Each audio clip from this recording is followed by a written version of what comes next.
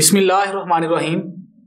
दोस्तों, उम्मीद करता हूँ आप सब लोग खैरियत से होंगे और अपनी ज़िंदगी बड़े ही बेहतरीन और बाकमाल अंदाज में गुजार रहे होंगे।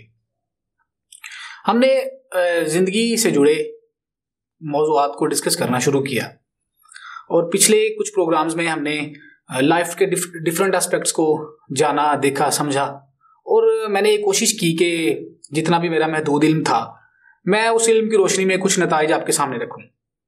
हमने पिछले प्रोग्राम में ये देखा कि ईगो किस तरह हमारी पर्सनालिटी को डिमोलिश करती है और किस तरह हम ईगो के सामने अपने आप को पेश करते हैं और कैसे कैसे हमसे लोग बिछड़ते जाते हैं, हमें लोग छोड़ते जाते हैं। तो उसी सिलसिले में, एक सिलसिले का इजाफा आज आपके सामने पेश करूँगा। आज इस मौजू का मैंने इंतखब किया। उस मौजू का नाम है सेल्फ रिस्पेक्ट इज़्ज़त नफ्स हमने इस लफ्ज़ को भी बहुत दफ़ा सुना। और आज हम देखते हैं कि ये जो लफ्ज है इज़्ज़त नफ्स ये सेल्फ रिस्पेक्ट जिसे इंग्लिश में कहा जाता है, ये हमें किस तरह इन्फ्लुएंस करता है? ये हमारी लाइफ को किस तरह बनाता भी है और बिगाड़ता भी है? या हमारी लाइफ इस हवाले से किन किन मराहल से गुजरती है? आज इस प्रोग्राम के हवाले से हम ये देखेंगे। ये ये जो सेल्फ रिस्पेक्ट है, ये दो लफ्जों से बना, एक है सेल्फ और दूसरा रिस्पेक्ट पहले हम जानेंगे सेल्फ है क्या। ये सेल्फ क्या हम क्या इससे मीनिंग्स लेते हैं। सेल्फ का मतलब होता है कि फर्द वाहिद मैं आ, हमारा जो अपने बारे में इमेज बनता है हमारा जो अपने बारे में परसेप्शन बनता है वो आ, उसकी जो जड़ें हैं उसकी जो रूट्स हैं वो कहीं ना कहीं हमारे बचपन में पैवस्त होती हैं। हम किस तरह के दिखते हैं आ, हम गुड लुकिंग हैं या नहीं हमारे अंदर क्या क्या क्वालिटीज़ हैं हमारे कौन से वो एरियाज़ हैं जो, जिनमें हम लैग करते हैं? हम किन एरियाज़ में लोगों को बहुत अच्छा लगते हैं? और वो कौन से एरियाज़ हैं जिनके हवाले से लोगों में रेजर्वेशन पाई जाती हैं हमारे हवाले से? होता दोस्तों कुछ यूँ है कि हमारे साथ कुछ ना टैग्स लगाए जाते हैं बचपन से ही। हमारे पेरेंट्स हमारे दोस्त अहबाब, हमारे टीचर्स कॉन्शियसली और अनकॉन्शियसली बाज दफ़ा ये शौरी सतह पे होता है और बाज दफ़ा ये बिल्कुल ही अनकॉन्शियस लेवल पे होता है। तो हमें मुख्तलिफ़ जो टैग्स हैं, उनसे नवाजा जाता है। उन्हीं टैग्स को लेके हम जवान होते हैं और उन्हीं टैग के साथ बाज बसाओकात और बाज़ात हम उन्हीं टैग्स के साथ ज़िंदगी गुजार के इस दुनिया से चले भी जाते हैं। हम अपने बारे में जो परसेप्शन है वो अनकॉन्शियसली उसका जो इमेज बनता है अपने बारे में हमारा। वो कहीं ना कहीं इन सारे लोगों से हम परसीव करते हैं और यही लोग हमारी जो सेल्फ इमेज है आ, उसको ये बताते हैं हमें कि आपके अंदर क्या या आप किस तरह के दिखते हो। सेल्फ इमेज किससे मुराद ये नहीं कि हमारी जो फ़िज़िकल पर्सनैलिटी है इसमें वो भी एरियाज़ हैं जो हमें नज़र नहीं आते। मिसाल के तौर पे हम किस तरह बोलते हैं। हमारे उठने बैठने का अंदाज क्या है? हम जो है हमारा जो बात करने का अंदाज है उसमें हम अपनी बॉडी लैंग्वेज को किस तरह इस्तेमाल करते हैं? तो ये सेल्फ इमेज में ये सारी चीज़ें एग्जिस्ट करती हैं, ये सारी चीज़ें फॉल करती हैं।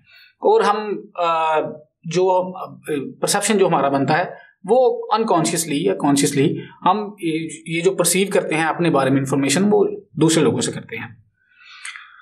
अगर आप पेरेंट्स हैं, अगर आप टीचर हैं, या अगर आप किसी जगह पे लाइफ के किसी एरिया में या किसी लीडर के तौर पर रोल प्ले कर रहे हैं तो भैया आपसे गुजारिश ये है कि दीन का हुक्म भी है कि लोगों को अच्छे अलकाबात से नवाजें, लोगों को अच्छे नामों से पुकारें। तो मैं आपसे ये गुजारिश करूँगा कि अपने, हमारे जो जूनियर्स हैं, हमारे जो बच्चे हैं, या बींग ए टीचर हमारे जो बच्चे जिनकी तादाद दर्जनों में होती है, उनको हम, उनके ऊपर को टैग ना लगाएँ। अगर हम उनके ऊपर टैग लगाएँगे, हम उनको बुरे अलकाबाद से नवाजेंगे तो कहना तो ये नहीं चाहिए लेकिन आहिस्ता आहिस्ता अल्टीमेटली वो बच्चे जो हैं, वो डीट बन जाते हैं और कहीं ना कहीं उनका ना कॉन्फिडेंस लेवल बनता है और ज़िंदगी में वो कोई किसी बड़े काम को अचीव नहीं कर सकते। बड़े काम से मुराद ये नहीं कि हमने बिल गेट्स बन जाना है या हमने आईटी का कोई प्रोफेशनल उस लेवल का इलोन मस्क के लेवल का बनना है। हम ज़िंदगी में कुछ भी बेहतर करना चाहते हैं, कुछ लाइफ में आगे बढ़ना चाहते हैं तो यही एक चीज़ है, ये जो सेल्फ इमेज है, ये सबसे ज़्यादा हम, हमारे जो सामने चीज़, जो दीवार खड़ी करता है, वो यही एक चीज़ है। तो ये तो एक चीज़ थी सेल्फ के हवाले से कि क्या, किस तरह हमारा सेल्फ बनता है और दूसरी चीज़ रिस्पेक्ट है, इज़्ज़त है। दोस्तों, अपने आप को लेके, हम जब तक सीरियस नहीं होंगे, हम अपने आप को रिस्पेक्ट नहीं देंगे, हम अपने आप को किसी जोगा समझेंगे नहीं तो यकीन कीजिए हमें कोई भी किसी खाते में नहीं लिखेगा। तो आज की इस प्रोग्राम से मेरी आपसे गुजारिश ये है कि एक तो चीज़ है यूनिकनेस जो इनफरादियत है हम यही समझते हैं कि जो दुनिया में जो लोग हमसे आगे निकल गए, जिन्होंने किसी न किसी फ़ील्ड में मकाम बनाया सिर्फ़ वही कुछ ज़िंदगी में कंट्रीब्यूट कर सकते हैं, ज़िंदगी में कुछ बड़ा वही कर सकते हैं। मैं आपसे ये गुजारिश करना चाहता हूँ कि हमारे अंदर भी बींग ए कॉमन मैन हमारे अंदर भी बहुत सी ऐसी क्वालिटीज़ होती हैं जो हमें दूसरों से मुमताज़ करती हैं, जो हमें दूसरों से जुदा करती हैं। ये अल्लाह पाक ने जो हमें कुछ चीज़ें ऐसी भी वदियत की होती हैं। जिनकी जो वर्थ है, जिनकी जो इंपॉर्टेंस है, वो बहुत ज़्यादा होती है। और बाज़ दफ़ा इन्हीं अलकाबात को लेके, इन्हीं टैबूज को लेके, हम जो अल्लाह पाक की उस नेमत है, वो जो अल्लाह पाक ने हम एक हमारे ऊपर जो बड़ा कर्म किया होता है, हम उसको भी कहीं ना कहीं पीछे छोड़ जाते हैं और इन्हीं लोगों की बातों में आके हम अपना जो इमेज है, वो ख़राब किए जाते हैं। तो ज़िंदगी में आपको जब भी मौका मिले, अपनी जो, अपने अंदर जो, वो क्वालिटीज़ हैं, जो आपको लगता है कि ये कहीं ना कहीं ये मेरे अंदर जो क्वालिटीज़ हैं, उनसे बेहतर हैं। उनको ज़रूर पॉलिश करें और उन लोगों में उठा बैठा कीजिए जो आपकी तारीफ़ करते हैं, जो आपके काम को पॉजिटिव एंगल से देखते हैं, जो आपके काम में सिर्फ़ कीड़े नहीं निकालते। क्रिटिकल थिंकिंग का मतलब ये नहीं होता कि हमने किसी जो काम है, उसमें सिर्फ़ कीड़े ही निकालने हैं। हमने किसी काम को नेगेटिव एंगल से देखना है। क्रिटिकल थिंकिंग का मतलब ये होता है कि कुछ उसमें पॉजिटिव है, कुछ उसमें मीडियम लेवल का है, कुछ उसमें बिल्कुल एवरेज लेवल का है और कुछ उसमें अल्टीमेटली हम कॉमन मैन है हमने कुछ ना कुछ गलतियाँ करनी होती हैं लाइफ को लाइफ में उतने परफेक्ट तरीके से हम कुछ काम नहीं कर सकते। तो मेरी आपसे गुजारिश ये है कि अपनी उन क्वालिटीज़ को पॉलिश ज़रूर ज़रूर करें और अपना एक ग्रुप बनाएँ जिनमें बैठ के आप उन आ, वो जो आपके अंदर जो कुदरत ने क्वालिटी रखी है उसको जो लोग डिस्कस करते हैं या वो ग्रुप चाहे उससे आपको अर्निंग हो रही है या नहीं हो रही ये बात का मसला है। आप कम अज कम उन लोगों में उठा बैठा कीजिए जो जिनके इंटरेस्ट कॉमन हो, जिनको, जिनके जो हॉबीज हैं, वो कहीं ना कहीं मैच करती हैं, जिनकी वैल्यूज़ मैच करती हैं। तो अल्टीमेटली वो जो हमारा सेल्फ का इमेज है, वो बेहतर होना शुरू होगा। हम ज़िंदगी में कुछ कुछ ना कुछ बेहतर, कुछ ना कुछ आगे बढ़ने का जो जज्बा है, जो कुदरत ने हमें वदियत किया है, उसको ये चीज़ बूस्ट करेगी, उसको ये चीज़ बेहतर करेगी। अब अब देखते हैं कि हम गलतियाँ क्या करते हैं। जि, जिनकी वजह से हमारा जो सेल्फ इमेज है वो ख़राब होता है या जो हमारे ऊपर जो टैग लगते हैं वो क्यों लगते हैं? पॉसिबल है कि हमारा जो ताल्लुक है मिडिल क्लास से हो या लोअर मिडिल क्लास से हो या बिल्कुल ही एक गरीब ख़ानदान से हम बिलोंग करते हैं। दोस्तों जब भी आप कपड़ों का इंतखब करें जब भी आप चीज़ों का इंतखब करें तो उनमें आप क्वांटिटी की बजाय क्वालिटी पे फोकस करें। आप उन चीज़ों को अपनी ज़िंदगी में कपड़ों के हवाले से रीडिंग के हवाले से, या कुछ, कोई भी चीज़ हमने वो जो फिजिकली नज़र आती है, उसमें किस चीज़ का हमें इंतखब करना पड़े। तो चाहे हमें उसका थोड़ा एक्स्ट्रा ही पे करना क्यों ना पड़े, आप क्वांटिटी की बजाय क्वालिटी पर फोकस करें। बेहतर जो अब फॉर एग्ज़ाम्पल आजकल एक बड़ा कॉन्सेप्ट है पावर लुकिंग का पावर ड्रेसिंग का। अब उसके बारे में देखें कि उनमें क्या इंग्रेडिएंट्स हैं जो हमारे अंदर कम हैं, और हम ज़िंदगी में उनको ऐड करके हम किस तरह बेहतर तरीके से अपने आप लोगों के सामने बेहतर तरीके से पेश कर सकते हैं। अगर हमने नीला, पीला या कोई इस तरह का जो कलर है, वो जो, या डार्क रेड हमने पहना है, या डार्क ग्रीन पहना है हमने तो इस तरह के जब भी हम कलर्स पहनेंगे तो एक तो हम फ़िल्म बॉइंट लगेंगे, हम बिल्कुल ऐसा लगेगा कि ये जो बंदा है पार्टी वगैरह में इस किस्म के ड्रेस जो है वो पहनने में कोई ममानत नहीं, कोई मजायका नहीं। लेकिन नॉर्मल हम जब किसी ऐसी सिटिंग में जाएँ, किसी ऐसी गैदरिंग में जाएँ, जहाँ पे कोई सीरियस डिस्कशन है, या जो जिस जगह पे हम काम करते हैं तो हमारा जो इमेज है वो एक सोबर पर्सनैलिटी के तौर पे, एक लाइफ के में सीरियस इंसान के तौर पे जाना चाहिए। तो एक तो ज़िंदगी में ये काम आप ज़रूर ऐड करें कि पावर लुकिंग पावर ड्रेसिंग के बारे में आप ज़रूर पढ़ें, आप ज़रूर देखें, आप ज़रूर सुने, या किसी कंसल्टेंट से आप कंसल्टेंसी भी ले सकते हैं। वो ज़िंदगी में आपको एक एक दो सेशन ही लेने पड़ेंगे। ये कोई ऐसा नहीं कि आपको पचास या सौ सेशन लेना पड़ेंगे।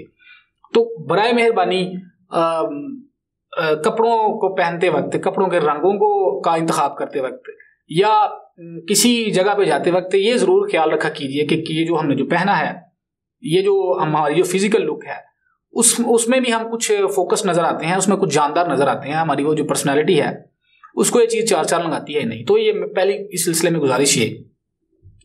दूसरा जो हमारी जो सफ़ाई सुथराई है, ये जो हाइजीन है, इसका हमें जो है वो प्रॉपर ख्याल रखना चाहिए। देखिए, अगर हमारे दांत गंदे हैं, या हमारे मुँह से स्मेल आती है, या हमारे जो बाल है वो बेतरतीब हैं, या हमारी जो शेव है वो बढ़ी हुई है हम अगर इसको प्रॉपरली सीरियस तरीके से नहीं लेते या जो फॉर एग्ज़ाम्पल ये जनरल सी गुफ्तु मैं नहीं कर रहा बिल्कुल एक एग्ज़ाम्पल के तौर पर ले रहा हूँ।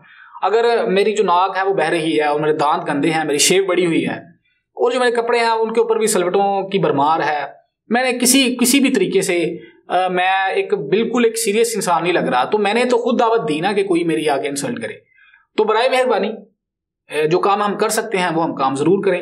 अपनी जो फ़िज़िकल लुक है हमारी जो हाइजीन है, उसका बहुत आप ख्याल रखा करें।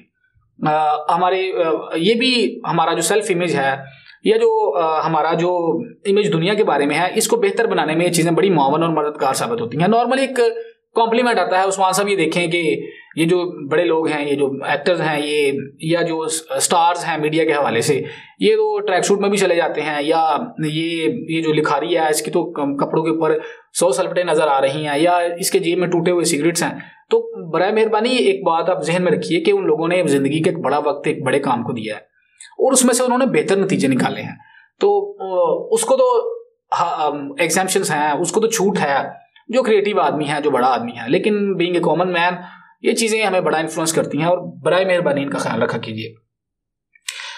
दूसरी एक जो नहायत अहम नुकता मैं आपके सामने रखना चाहता हूँ वो ये है कि हम रिश्तों में या आ, किसी ऐसी जगह पे जहाँ हम एक सीरियस रोल प्ले कर रहे होते हैं वहाँ पर जब भी हम जाएँ तो वहाँ पे हम ना अपनी बाउंड्री ज़रूर डिफाइन करें कि ये चीज़ जो है ये मेरी बाउंड्री को खराब ये मेरी ये जो टेम्परामेंट है उसको खराब करेगी बर मेहरबानी इस तरह के गुफ्तु से या हमें कोई या इस तरह का कुछ जो जो लफ्ज निकालेगा मुँह से, आप बर मेहरबानी, उसे वहीं पर कहा कीजिए कि ये जो लफ्ज आपने बोला, या ये जो जुमला आपने अदा किया, इसकी वजह से मेरा टेम्परामेंट ख़राब होगा और हमारा जो ताल्लुक है वो भी अल्टीमेटली ख़राब होगा।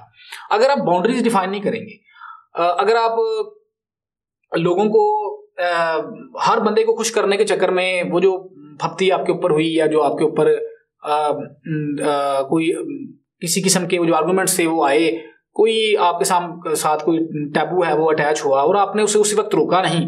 तो अगले दफ़ा जब भी आप उससे मिलेंगे, वो चूँकि आपने उसको बाज नहीं किया तो किसी ना किसी उससे उससे अगले दर्जे पे जाएगा आपको। एक तो लोगों को ये बहुत प्रॉब्लम है कि वो रिश्तों में भी और जो उनके साथ कुलीग्स हैं वो भी, या हम जो किसी को सरसरी तौर पे जानते हैं, उनमें हम ना फ्री होने की बड़ा कोशिश करते हैं। ये नॉर्मल आपको बिहेवियर नज़र आएगा।